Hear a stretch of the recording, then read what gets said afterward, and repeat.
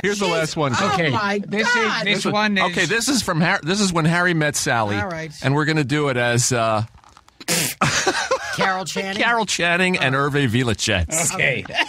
All right. Let her rip. Go ahead. You realize, of course, that we could never be friends. Why not? What I'm saying is, it is not a command in any way, shape, or form. It's that men and women can be friends because the sex part always gets in the way. That's not true.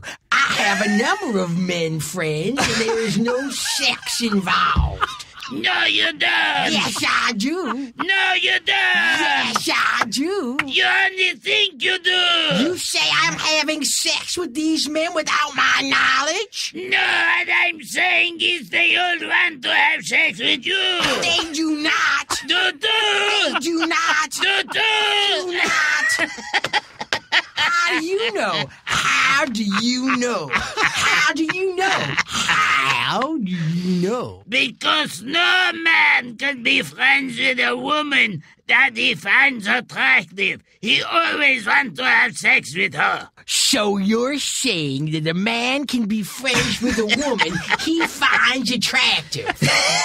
No, you pretty much want to nail them too. What if they don't want to have sex with you?